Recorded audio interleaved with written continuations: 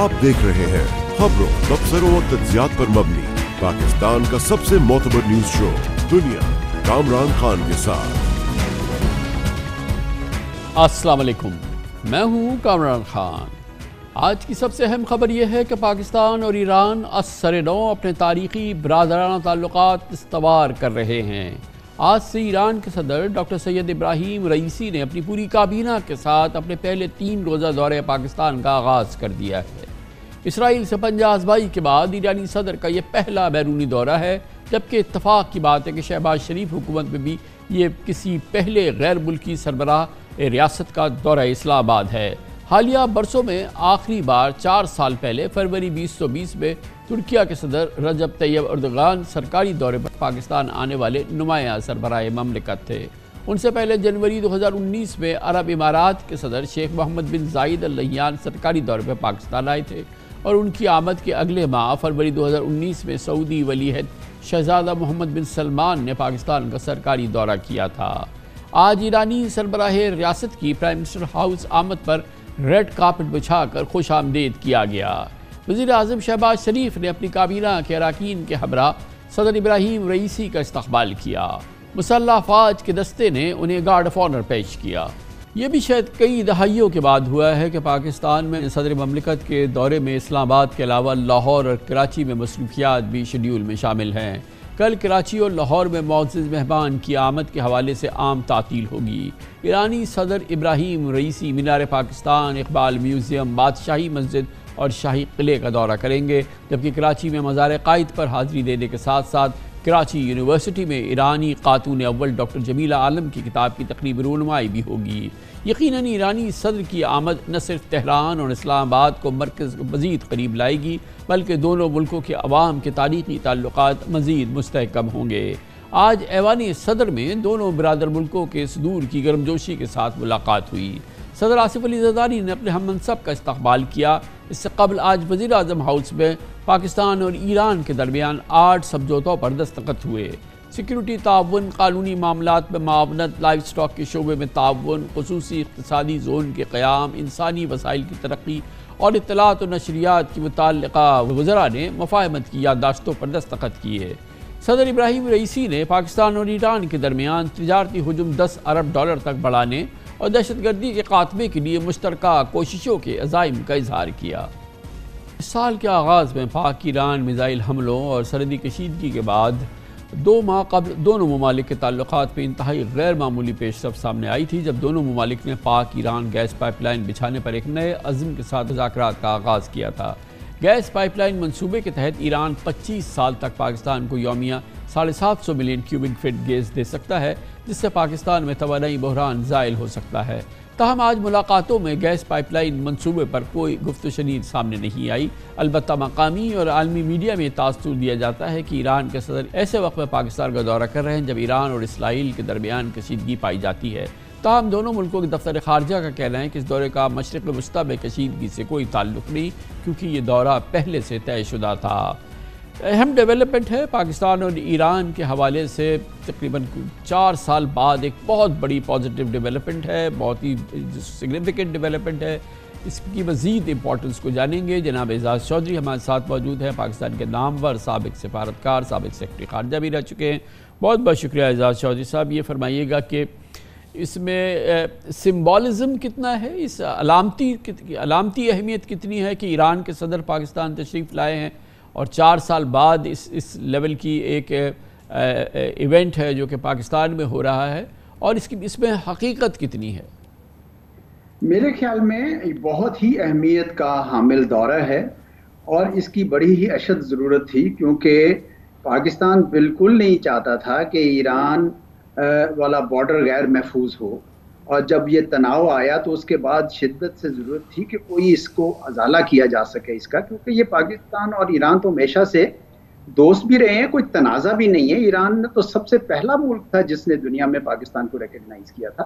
तो पाकिस्तान में हमेशा से ये ख्वाहिश रही है। तो अच्छी बात है कि उन्होंने एक ऐसा वक्त चुना है जिसमें ये बड़ा वाज हो गया है कि पाकिस्तान और ईरान के दरमियान मसाइल को वो हल करना चाहते हैं और इसलिए ये इंपॉर्टेंट है। आपने सही कहा कि ये सिम्बॉलिकली भी इंपॉर्टेंट है और सब्सटेंटिवली भी इम्पोर्टेंट है कि इस वक्त कोई एक ऐसा सिक्योरिटी मैकेनिज्म बन जाए जिसके बाद दोनों मुल्कों के ताल्लुकात को ख़राब करने वाली तंजीमें, जिस तरह जशल अदल है या बी एल ए है या बी एल एफ़ है, इनको कोई मौका ना मिल सके। ये बैरून मुल्क से इनको पैसे मिलते हैं और ये मुल्क, दोनों मुल्कों के ताल्लुकात को ख़राब करते हैं तो इसलिए एक तो मैकेनिज्म बनाना बड़ा ज़रूरी है।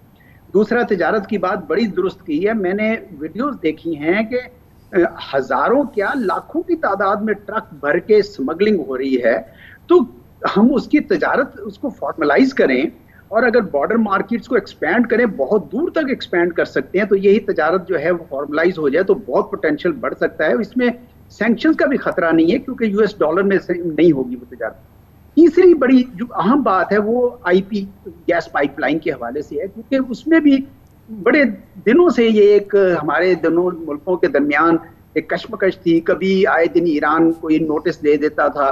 तो अब बात करने की ज़रूरत है। अब मुझे पता है इस बात पे कि ईरान के दौरे को कुछ मुल्क अच्छा नहीं समझते हैं। जिस तरह अमेरिका ने सेंक्शंस लगाई कुछ कंपनीज़ की चाइना के और बेलारूस की कि आप पाकिस्तान को सप्लाई करते हैं वो एक सिग्नल था। लेकिन हमें उसकी परवाह इसलिए नहीं करनी चाहिए कि हमें जो करना है सो करना है। ईरान के साथ आईपी गैस पाइपलाइन का कोई रा, रास्ता निकालना होगा।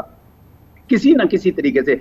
मुझे अंदाज़ा है इस बात का कि सेंक्शंस की नोयत ये है कि अगर कोई भी कंपनी अगर उस कंपनी के साथ जिसके साथ ईरान की सेंक्शन कंपनी का ताल्लुक है बनता है, वो भी सेंक्शन में आ जाएगी। इसलिए ये बड़ा ऐसा है मामला है कि हमारा हमने बनाया भी है कई बार कंसोशियम तो बैरूनी इवन चाइनीज़ कंपनीज़ भी नहीं आती हैं।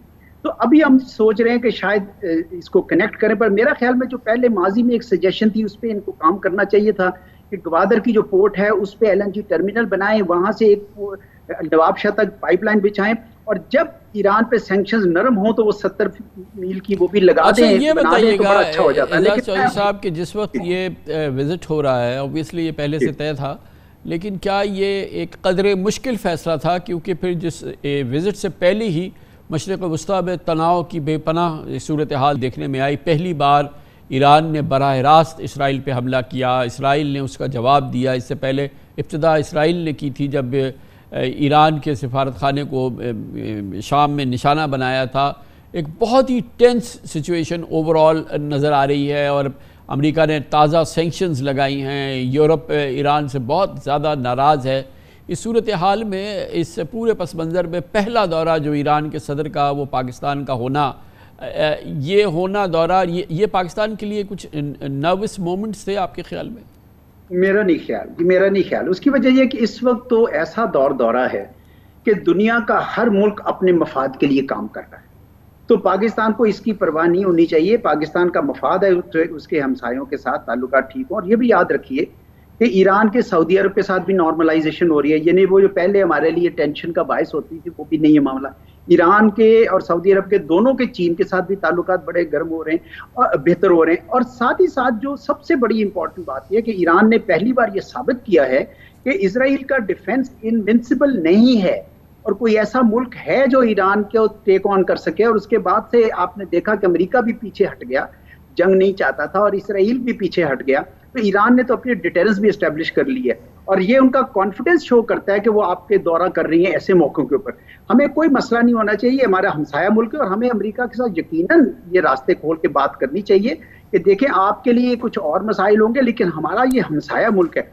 ईरान के साथ बात करनी चाहिए कि आईपी गैस पाइपलाइन के ऊपर फोर्स मेज्योर है सैंक्शंस का। आप इस पे आए दिन नोटिस ना दें। और अमेरिका के साथ कोशिश करें कि कोई रास्ता निकल सके। बड़ी डिप्लोमेसी की ज़रूरत है जी इस वक्त। अच्छा तो ये ये देखें सबसे बड़ी बात तो तिजारत है। ईरान दुनिया के बहुत सारे मुल्कों से बड़ी एक्टिव तिजारत कर रहा है। लेकिन हमारे लिए, हमारी जो तजारत का जो हजम है, वो बहुत मुख्तसर है।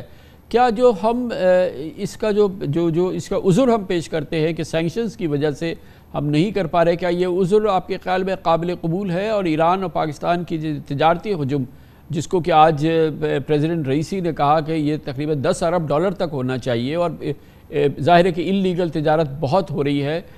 इस सिलसिले में क्या हम, हमारे यहाँ विल की कमी है या ये कि वाकई एक रुकावट है?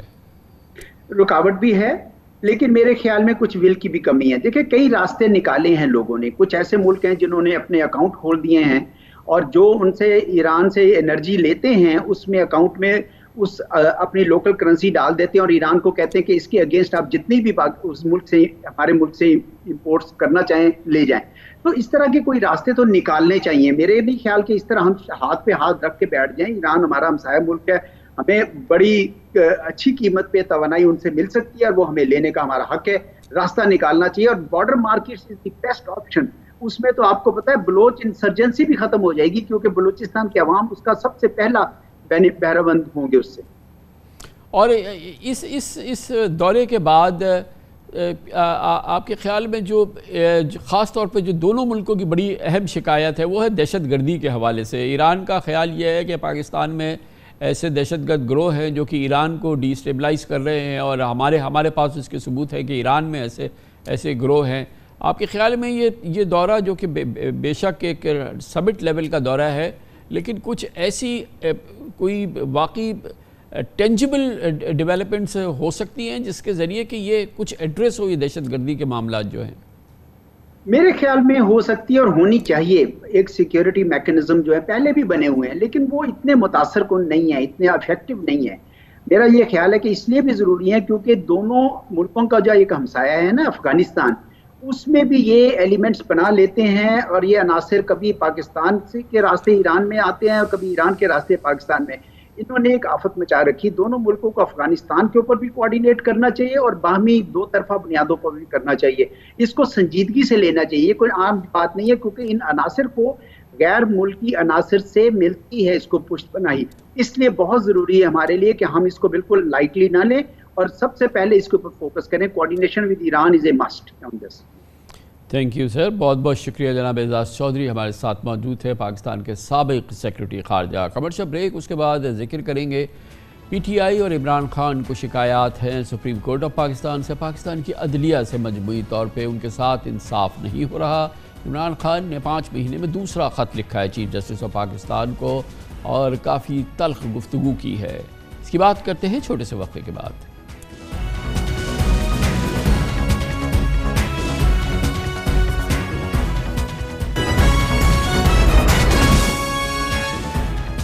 वेलकम बैक पीटीआई के बानी चेयरमैन इमरान खान ने अपने और पार्टी के सियासी मुस्तबिल के कलीदी फैसलों में कानूनी रिलीफ के लिए सुप्रीम कोर्ट से उम्मीदें वाबस्ता कर ली हैं। अख्ताम हफ़्ता इमरान खान ने अडियाला जेल से पाँच माह के दौरान दूसरी बार चीफ जस्टिस ऑफ़ पाकिस्तान जनाब जस्टिस काजी फाइज ईसा को एक तफसीली ख़त लिखा है। लेकिन बाद नज़र में उन्होंने अपने मुतालबात की मंजूरी और इंसाफ की फरहमी के लिए तलख लब लहजा इख्तियार किया है। इमरान खान ने चीफ जस्टिस ऑफ़ पाकिस्तान को आइन पाकिस्तान का मुहाफ़ करार देते हुए सात अहम सियासी और कानूनी मामला में बाबानी मुदाखलत की दरख्वास्त की है और लिखा है कि अब आपके लिए साबित करने का वक्त आया है कि आप बानियान पाकिस्तान के असूलों और आइन की बालादस्ती पर यकीन रखते हैं या नहीं। चार सफ़ात पर मुश्तमिल ख़त में इमरान खान ने चीफ जस्टिस काजी फाइजीसा से कहा कि वह नौ मई के वाक़ात की शफाफ तहकीक़ात की मुकम्मल समात के लिए तरजीही बुनियाद पर बेंच मुकर करें और पी टी आई की खवतिन वर्कर्स को इंसाफ दिलाएँ, क्योंकि रियासत इन मुकदमात में जज, ज्यूरी और जलाद बन चुकी है। इमरान खान ने यह भी कहा कि चीफ जस्टिस नवाज़ शरीफ को तोशाखाना गाड़ी केस में नैब से क्लीन चिट मिलने का नोटिस लें। इमरान खान ने बहावल नगर में पुलिस के साथ रवैये पर गौर करने का भी मुतालबा किया। बानी पीटीआई ने कहा कि इस्लामाबाद में हाई कोर्ट के छः जजेस के शिकायती खत पर इंसाफ पर मबनी कार्रवाई होनी चाहिए। उनका कहना था कि आठ फरवरी के इलेक्शन में मैंडेट चोरी और धांधली की तहकीक़ात की दरख्वास्त दो माह से जेर अल्तवा है। इमरान खान ने कहा कि चीफ जस्टिस पर लाजिम है कि सबक कमिश्नर रावलपिंडी के इंकशाफात की तहकीक़ात कराएँ। ख़त में इमरान खान का सातवां मुतालबा यह है कि पी टी आई की कौमी और सूबाई असम्बली में मखसूस हिस्सों पर इलेक्शन कमीशन की तर्ज अमल का नोटिस लिया जाए। और पी टी आई की दरख्वास्तों को जल्द मुकर करने के लिए इंसाफ फराहम किया जाए। याद रहे कि इस वक्त पी टी आई की बदाती दरख्वास्तें सुप्रीम कोर्ट में जेर अल्तवा या समात की तारीख की मुंतजर हैं। पी टी आई के रहनुमाओं ने अपने मुतालबात पर नहायत तनकीदी अंदाज में अमल दरामद का मुतालबा किया है। इतफाक़ की बात है कि परसों इमरान खान का ख़त सुप्रीम कोर्ट को अरसाल किए जाने के साथ पी टी आई के ऑफिशियल अकाउंट से मीडिया को भी जारी कर दिया गया।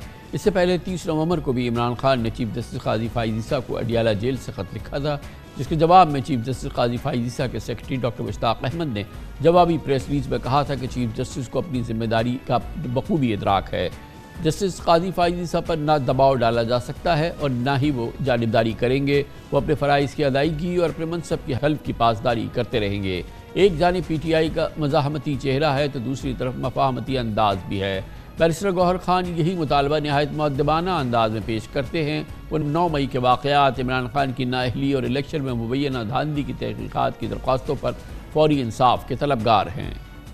आज अपनी एक ट्वीट में सबक सदर डॉक्टर आरिफ अलवी ने इमरान खान के ख़त में मौक़ की तायद करते हुए लिखा कि इस वक्त रियासत पाकिस्तान की अक्कासी, इस्लामाबाद हाई कोर्ट के छः जजेस के ख़त से हो रही है। उन्होंने कहा कि निज़ाम पर बहुत ही ज़्यादा गलाजत है और जिसको छुपाया नहीं जा सकता। आला अदलिया के लिए वक्त है कि वह कानून की हुक्मरानी को बरकरार रखे। इमरान खान का ये दूसरा ख़त, चीफ जस्टिस ऑफ़ पाकिस्तान का चंद माह के दौरान दूसरा ख़त कैद के दौरान या दूसरी इब्तदा, इस पर हम बात करते हैं। हमारे साथ मौजूद है, माहिर कानून भी हैं, न्यूज़ एनालिस्ट भी हैं, मुमताज़ न्यूज़ एंकर भी हैं। जनाब मुनीफ फ़ारूक हमारे साथ मौजूद हैं। बहुत बहुत शुक्रिया मुनीफ फ़ारूक साहब। ये फरमाइएगा कि इमरान खान साहब ने पाँच माह में ये दूसरा ख़त चीफ जस्टिस ऑफ़ पाकिस्तान को लिखा है। बज़ाहिर उनकी जमात को वैसे तो एलानिया एतबाद नहीं है चीफ जस्टिस साहब पे, क्योंकि वो उनके इस्तीफ़े का मुतालबा कर चुके हैं, बहुत सख्त ज़बान उनके लिए इस्तेमाल करते हैं। इसके इसके इसके, इससे ख़त नज़र, इमरान खान के इस ख़त की क्या कोई इलीगल मेरिट है चीफ जस्टिस को जो ख़त लिखा गया?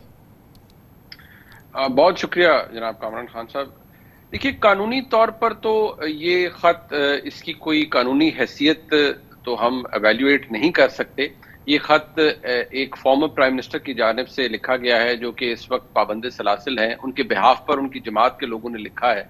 और इस लेटर के अंदर जो पॉइंट्स अलबत्ता रेज किए गए हैं, उनमें काफ़ी वज़न है, उनमें अहमियत है। लेकिन उन नुकात को भी कानून के पैमाने पर ही तोला जा सकता है या उनको एवेल्यूएट किया जा सकता है। अगर इन आइसोलेशन इस खत को लिखा जाए तो ये खत इमरान खान साहब की जानब से इसलिए लिखा गया है कि उनको बाज़ाहिर इंसाफ होता नज़र नहीं आ रहा। वो चाहते हैं कि चीफ जस्टिस पाकिस्तान मुतद मामला के अंदर इंटरवीन करें। लेकिन शायद चीफ जस्टिस साहब ना ही इससे इतने इम्प्रेस नज़र आते हैं और शायद वो इतने कीन भी नहीं है कि वो हर मामले के अंदर इंटरवीन करें। या उसके अंदर सुप्रीम तो, कोर्ट के प्लेटफॉर्म ये तो एक मदाखलत करें। बराह बड़ा मुश्किल होता है। ये तो एक बराह रास्त खत का मामला हो गया जैसे कि आपने अर्ज़ किया कि ये इसकी लीगल मेरिट तो इतनी हम आसानी से नहीं उसको डिटरमिन कर सकते। लेकिन ये इससे कथा नज़र कई अपील्स हैं कई मामलात हैं बरह रास्त इमरान खान साहब से मुतल और पी टी आई के मुतल जो कि सुप्रीम कोर्ट में पेंडिंग नज़र आते हैं। उसमें कोई हमें ऐसा लगता नहीं है कि सुप्रीम कोर्ट में वहाँ इन मामला की कोई तरजीह हो या उस मामला पे कोई हम तेज़ी से कोई समात होती नज़र आए। तो जो जिन चीज़ों की लीगल मेरिट है वो उसमें भी आई थिंक इस वक्त बावजूद सुप्रीम कोर्ट की प्रायोरिटी नहीं है। कामरान खान साहब इसमें इसको इस तरह भी देखा जा सकता है। एक तो आपने दुरुस्त फरमाया कि प्रायोरिटी भी शायद नज़र नहीं आती। लेकिन जो एक्सपीरियंस है, जो माजी में भी बदकिस्मती से हमारे मुल्क की सुप्रीम कोर्ट के अंदर बहुत फाल रही है, शायद उसका भी फुकदान है। और एक वजह यह भी है कि शायद इज़्ज़त माब चीफ जस्टिस साहब जिस नज़र से तमाम मामला को देख रहे हैं, बहरहाल वो बेशुमार इख्तियार अपने पास रखते हैं।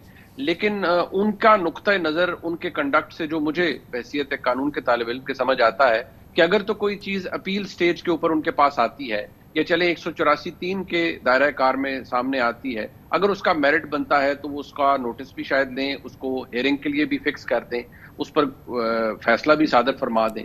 लेकिन अगर इसके अलावा कोई मामला है तो वो उसको एंटरटेन नहीं करेंगे। इसमें एक्सेप्शन ज़रूर हो सकती हैं, हुई भी हैं। ऑफ़ द कफ तो शायद हम बहुत सारी बातों को यहाँ पर हाईलाइट ना कर सके। लेकिन मैं इतना ज़रूर कहूँगा कि जैसे इंतबी धांधली का मामला है दो हज़ार चौबीस के इंतबात बिला किसी शुबे के मुतनाज़ा इंतबात थे और उनके ऊपर बहुत से सवाल थे। लेकिन उसका आर्ग्यूमेंट जो इनडायरेक्टली हमारे तक पहुँचता है वो ये है कि गालिबा इज़्ज़त माफ़ चीफ जस्टिस साहब या उनके ब्रदर जजेस ये समझते हैं कि जब तक एक आईनी पोजीशन मौजूद है कि आर्टिकल 225 ये कहता है कि इलेक्शन की उजादारी के मामला इलेक्शन ट्रिब्यूनल हल करेंगे और अपील स्टेज में वो सुप्रीम कोर्ट आएँगे तो फिर ऐसा ही होगा। इसके अलावा कोई रास्ता अपनाया नहीं जा सकता। जैसे कि आपने खुद जो पहला सवाल था, उसके जवाब में कहा कि जो शिकायत हैं, जो ख़ास तौर पे भी इमरान खान साहब की इस ख़त में आई, पहले ख़त में आई, और फिर जो जो मजमू तौर पे अदलिया से, सुप्रीम कोर्ट से शिकायत हैं जो पीटीआई की या इमरान खान साहब की, उनमें मेरिट भी है। वो ऐसा नहीं है कि वो बेपर की शिकायत है। मखसूस नशस्तों का मामला हो, जैसे भी आपने अर्ज़ किया इंतबात में धांधली के वाजे जो जो शवाहिद हैं, उसका मामला हो, या ख़वातीन जो पी टी आई की हैं, जिनको कि बेल नहीं मिल रही है, ये मामला हो। कई ऐसे मामला हैं जो कि सीरियस भी हैं, मगर उन पर भी शायद उस अंदाज की तरजीह नहीं है सुप्रीम कोर्ट में जैसा कि शायद पी टी आई को तो है या ये कि एक आम पाकिस्तानी सोच सकता हो। कामरान खान साहब, ये एक बदकिस्मती है कि जहाँ सुप्रीम, हमें ये पिछले कुछ अरसे में देखने को मिला, जहाँ सुप्रीम कोर्ट के वाज अहकाम के बावजूद इसी मुल्क की पार्लियामान ने पिछले साल, आप मुझसे बेहतर जानते हैं रेजोल्यूशन पास की कि हम इलेक्शन कमीशन को फंड्स जारी नहीं करेंगे। ये बदकिस्मती है हमारे निज़ाम की कि सुप्रीम कोर्ट के अंदर जज साहबान मुआज़ कई ऐसे रहे, जो शायद जज जज जस्टिस डिस्पेंस करने से ज़्यादा एक्यूज के वकील के तौर पर अपना कंडक्ट साबित करते रहे। ये भी बदकिस्मती है हमारे निज़ाम की कि जिस तरह आपने अभी खुद फरमाया कि चंद खातन बेशक उनका गुना या उनका जुर्म कानूनी तौर पर साबित हो तो ज़रूर सजा मिलनी चाहिए।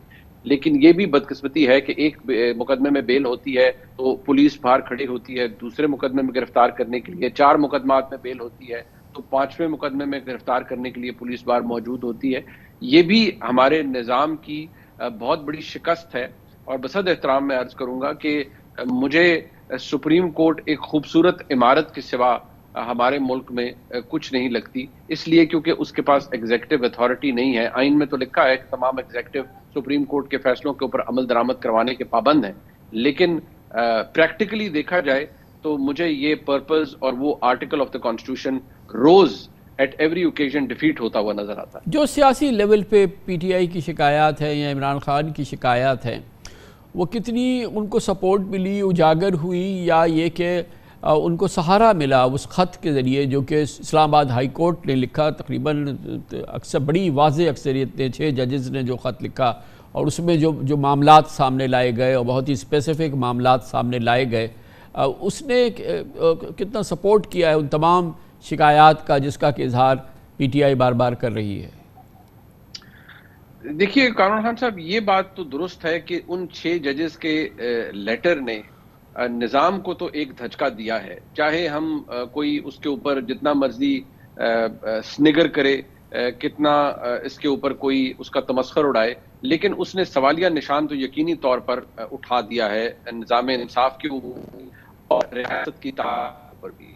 अब इमरान खान साहब की खुशकिस्मती मैं इस हवाले से ज़रूर कहूँगा, ये है, कोई ना कोई इमरान खान साहब को ऐसी सपोर्ट ज़रूर मिलती रहती है, जिसकी बेसिस के ऊपर इमरान खान साहब का जो मौकफ है, वो किसी न किसी जगह पर हाईलाइट होता रहता है। अब जिस तरह इमरान खान साहब ने फरमाया और उनके लोगों ने ये बात रेज की टाइम एंड अगेन कि अदालती मामला के अंदर इंटरवेंशन होती है और छह जजेस के, छह जजेस के उस लेटर ने, जो कि पहले उन्होंने अपने चीफ जस्टिस को लिखा, बाद में सुप्रीम जुडिशियल काउंसिल को लिखा, उससे उस बात की, को तकवीत मिली। खुशकिस्मती मैं इसलिए कहूँगा कि ना सिर्फ़ इमरान खान साहब का मौकफ हाईलाइट होता रहता है, बल्कि उनको जो सजाएँ मिली, वो सबॉर्डिनेट कोर्ट से मिली। At the end of the day उनके पास कोई ना कोई प्लेटफॉर्म ज़रूर था चीज़ों को एड्रेस करने के लिए। जबकि उनके मुखारफिन के साथ मामला ऊपर से नीचे तक आया था, यहाँ मामला नीचे से ऊपर तक जा रहा है और शायद जब हालात और वाकयात बदले तो इमरान खान साहब को किसी हद तक वहाँ पर रिलीफ भी हो। जैसे मियाँ नवाज़ शरीफ की डिस्कालिफिकेशन बाद में हुई, नैब के फैसले आए और फिर हाई कोर्ट में जाके ओवरटर्न हुए। इमरान खान साहब के फैसले जो उनके खिलाफ आए हैं, बसद एहतराम में अर्ज़ करूँगा, उन फैसलों के अंदर बेशुमार कानूनी गलतियाँ हैं और मुझे लगता है कि अगर मेरिट के ऊपर या ट्रांसपेरेंसी और जस्टिस के मैार के ऊपर टच स्टोन्स के ऊपर देखा जाए तो मुझे लगता है ये फैसले कम से कम रिमांड बैक होंगे टू द ट्रायल कोर्ट्स या ये फैसले कलदम भी करार दिए जा सकते हैं।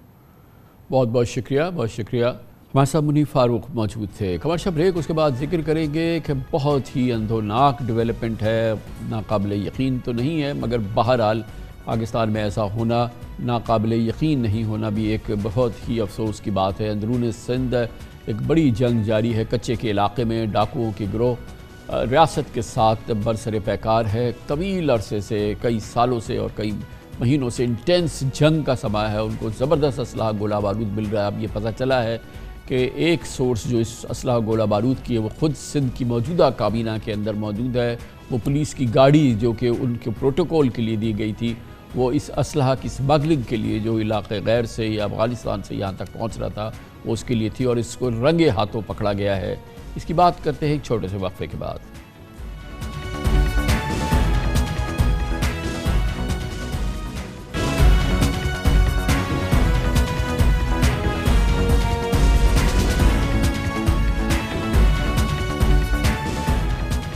बेशक सिंध में अंधेर नदी चौपट राज की एक मिसाल है। दुबई की रात एक गैर मामूली पेशरफ में अंदरून सिंध जदीद तरीन असलहे की स्मगलिंग का नेटवर्क बेनकाब हुआ। जिसमें सिंध पुलिस के अहलकार और सिंध काबीना के एक रुकन की सहूलतकारी का इंकशाफ हुआ। पुलिस के मुताबिक दो रोज़ कबल स्मगलर्स डबल केबिन गाड़ी में बड़ी तादाद में असलहा और बलूचिस्तान से शिकारपुर स्मगल करने की कोशिश कर रहे थे। हसास इदारों की रिपोर्ट पर जैकबाबाद पुलिस ने कार्रवाई की और ये कोशिश नाकाम बना दी। डबल केबिन गाड़ी के साथ पुलिस की एक मोबाइल भी साथ थी जो वज़ीर अला सिंध मुराद अली शाह के मुशीर अलाडिनो उर्फ़ बाबुल की सिक्योरिटी और प्रोटोकॉल पर मामूर थी। पुलिस मोबाइल और अहलकार स्मगलर्स को बाकायदा प्रोटोकॉल दे रहे थे और इब्तदाई तौर पर खबरें आई थी कि कार्रवाई के दौरान मुलविस पुलिस एहलकारों और स्मगलर्स के साथ बाबल भ्यो का बेटा भी जेर हिरासत है, जिसे दबाव में आके छोड़ा गया। तहम पुलिस ने इस खबर की तरदीद की है। S S P Jacobabad Saleem Shah का कहना है कि स्मगलिंग में मुलविस एस आई समेत तीन पुलिस एहलकार और चार स्मगलर्स को गिरफ़्तार करके इंसदाद दहशत गर्दी अदालत से रिमांड हासिल किया गया है।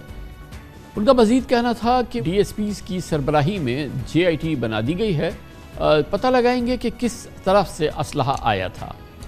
असलहे की स्मगलिंग में मुलविस सहूलतकारी के इल्ज़ाम के बाद वजी अला के मुशीर अलाडिनो ने अपने अहदे से इस्तीफ़ा दिया और पीपल्स पार्टी की लीडरशिप के लिए बहरहाल ये तमाम मामला एक बहुत बड़ा लम्हा फिक्रिया है। पिछले कई बरसों से कच्चे के इलाके में डाकुओं ने शहरीों और कानून नाफिज करने वाले इदारों की ज़िंदगी अजाब कर रखी है।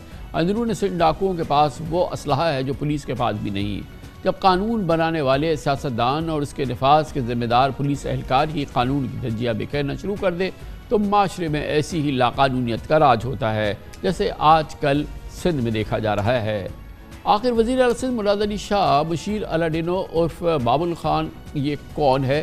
पीपल्स पार्टी से इसकी कितनी गुर्बत है? इस पर ज़रा रोशनी डालते हैं। बहुत ही सीरियस और बहुत ही नाकबिल यकीन वाक़ है कि पुलिस खुद और सिंध काबीना के अरकान खुद असलहा की स्मगलिंग में मुलविस पाए जाएँ और रंगे हाथों गिरफ़्तार हों। इस पूरी सूरत हाल पर बात करते हैं। हमारे साथ मौजूद हैं हमारे नुमाइंदे खसूसी इख्तियार खोकर। बहुत बहुत शुक्रिया इख्तियार खोकर। साहब ये बताइएगा कि ये क्या अब इसकी ताज़ा तरीन खबर क्या है? क्योंकि बिल्कुल रेड हैंडेड ये तमाम मामला पकड़ा गया है। इसमें रेड हैंडेड लोग पकड़े गए थे। और ज़ाहिर है कि इससे ज़्यादा इन्फ्लुएंशियल क्या होंगे कि वो काबीना के रुकन हैं, मुबैना तौर पर और या, ये कि वो पुलिस के अहलकार बरह रास्त उसमें मुलविस हों। अभी इसमें ताज़ा तरीन क्या डेवलपमेंट है? हाँ जी, खान साहब, ताज़ा तरीन ये है कि एक तो इसने जो इस्तीफ़ा दिया है बाबल खान भैया साहब ने, सूबाई एडवाइज़र के अहदे से, वो अभी तक नोटिफाई नहीं हुआ। यानी कि ये डी नोटिफाई नहीं। इस वक्त भी ये वज़ी अला सिंध के एडवाइज़र हैं। मैंने चीफ सेक्रेटरी ऑफ़िस से मालूम दी है। तो उन्होंने ये बताया है कि उसका इस्तीफ़ा हमारे पास नहीं आया और ना ही इसका इस्तीफ़ा मंजूर करने के हवाले से कोई नोट जो है वो चीफ मिनिस्टर के पास गया है। तो इस वक्त भी महकमा जंगलात जो है वो इनके हुक्म पर चल रहा है। और दूसरी बात यह है कि मैंने बाबल खान भाइयों से बात की इस सारे मामले पे खुद से। तो मैंने उनसे पूछा कि ये क्या मसला है? तो उन्होंने ये कहा कि जी, वो जो वीगो गाड़ी पकड़ी गई है, वो उसने तस्लीम किया कि वो उनके कज़न की है। अब्दुल हमीद जो बताया जा रहा है, वो उनका कज़न है। और तो जब मैंने उनसे पूछा कि उसमें आपके बेटे के भी उसमें शामिल था तो उसका उसने इनकार किया। लेकिन उन्होंने कहा कि ये जो असला और ये गोलियाँ वगैरह जो आ रही थी उस गाड़ी में, वो हमारी थी। ये एक बहुत बड़ी बात है। उनका ये कहा कि जी, हमारे कबायली झगड़े चल रहे हैं। मारफानी कबीले से बहुत पुराना झगड़ा है तो हमें उसके लिए ज़रूरत पड़ती है। वो हमारा अपना असला जो है, वो चूँकि लाइसेंस याफ्ता है तो बलूचिस्तान से हम ये गोलियाँ ला रहे थे। तो मैंने कहा कि उसके लिए आपने अपनी पुलिस मोबाइल जो है वो कैसे यूज़ की? तो उन्होंने कहा कि जी ये पुलिस मोबाइल मैंने वहाँ नहीं भेजी थी। जब जैकबाद में हमारी गाड़ी को रोका गया और वहाँ झगड़ा हुआ तो फिर मैंने उनके प्रोटोकॉल के लिए बल्कि उनकी हिफाजत के लिए यहाँ से भेजी थी। जबकि जब हमने तहकीक़ात की है और जो पुलिस के, के का कहना है वो इन तमाम चीज़ों को तरदीद करती है। असल में ये बात सामने आई कि जो पुलिस मोबाइल उसकी इस्तेमाल हुई है, वो बलूचिस्तान से पीछे से ही उनके वीगो से आ रही थी। उनको एक पुलिस चौकी पर जब रोका गया तो वो वीगो नहीं रुकी। फिर दूसरी चौकी पर उनको रोक कर ज़बरदस्ती उनका तलाशी ली गई तो उनसे ये असला निकला। और जो असला वहाँ से निकला है और जो गोलियाँ निकली हैं, उसमें तकरीबन एक हज़ार गोलियाँ एल की है। यानी कि वो ऐसा असला है जो मिलिट्री ग्रेड का असला है जो आमतौर पर जिसका तो कहाँ से ला रहे थे? क्यों गए थे? कहाँ से ला रहे थे? क्या ये नेटवर्क है? जो ये ये सप्लाईज आई थी और इसके लिए ये ख़रीदने के लिए ये लोग गए थे इसका क्या बैकग्राउंड है? पुलिस की अपनी इन्वेस्टिगेशन क्या कहती है? बाबल भैया अपने मुँह से चाहे कुछ भी कहते रहे। जी पुलिस का जो एफआईआर है और जो पुलिस की जो इन्वेस्टिगेशन है मेरी उनसे बात हुई है। उनका ये कहना है कि उनको इंटेलिजेंस एजेंसी से ये इतला मिली थी कि ये असला बलूचिस्तान के इलाके नसीराबाद नसीराबाद से लाया जा रहा था। और एफ़ आई आर में भी ये बात दर्ज है। और शिकारपुर ज़िले में ये दहशत गर्दों और डाकुओं को मिलना था, जिससे आवाम का कत्ल आम होना था। ये अल्फाज लिखे गए हैं उसमें, और उसमें जो लोग पकड़े गए हैं, उनसे जो इंट्रोगेशन हुई है, इब्तदाई जो इंट्रोगेशन हुई है, उनको भी कोट किया गया है कि उन्होंने ये बताया कि ये दहशत गर्दी के लिए असला इस्तेमाल होना था। और दूसरी बात है कि उसमें जो एक आदमी पकड़ा गया है इख्तियार लाशारी वो जो वज़ीर साहब के जो अगर कज़िन के या उसकी वीगो है जो उसमें सवार था वो एक बदनाम सिमगलर है बदनाम तरीन सिमगलर है। और जो एस एस पी ने भी कहा उस पर पाँच मुकदमा थे तो ऐसा आदमी किसी वज़ीर के कज़िन की या उसकी गाड़ी में असला लेकर कैसे आ रहा था? तो, तो ये ये असल बात तो ये है कि जो जिस तादाद में असलाह मौजूद है जिस लेवल का असलाह मौजूद है जितना जदीद तरीन असलाह मौजूद है और जितनी बड़ी तादाद में मौजूद तो ये तो एक गाड़ी है जो कि कहीं इंटरसेप्ट हो गई किसी वजह से। ऐसे तो काफ़िले आए होंगे तो जब ये असलाह पहुँचा होगा ना इसका मतलब ये कि इस पूरे इलाके में इसकी रोकथाम ये तो वाहिद केस है ना सिर्फ़ एक केस है। और ये जो। सैकड़ों गाड़ियाँ आई होंगी इस तरह की या ट्रक आए होंगे ये असलाह लेके ये ये तो वहाँ तो इस, इस इस पर तो कभी कोई किसी ने पूछगछ की ही नहीं है। हाँ बिल्कुल खासा बिल्कुल दुरुस्त फरमाया आपने। ये तो एक टिप ऑफ़ आइसबर्ग है कि एक गाड़ी से इतला मिला है आप ये एक पूरा नेट है पूरा एक कई गैंग्स हैं। ये एक गैंग नहीं है कई गैंग्स हैं जो वो इस सारे धंधे में मुलविस हैं। और बड़ी बात यह है कि इस मामले को रफा दफ़ा करने के लिए सिर्फ़ दो डीएसपीज की सर, की जीआईटी बनेगी। ये इंटर प्रोविंशियल इशू है। एक सूबे से दूसरे सूबे में असला आ रहा है और एक वज़ीर के मुबैना गाड़ी में आ रहा है। तो दो डीएसपी क्या इन्वेस्टिगेशन करेंगे? उनकी क्या दस्तरस होगी? इसके लिए तो एक बड़े पैमाने पर जीआईटी बनानी चाहिए, जो होम डिपार्टमेंट को इसको नोटिफाई करना चाहिए, जिनमें हिसास इदारों के लोग भी होने चाहिए। आला लेवल के अफसरान, कम अज़ कम डीआईजी लेवल का अफसर उसका सरबराह होना चाहिए। जो इस नेट को पकड़े और उसके ताने बारे देखे, बलूचिस्तान में भी जो जो असला आ रहा है, वो कहाँ से आ रहा है और उसमें कितने लोग मुलविस हैं और पीछे कौन है?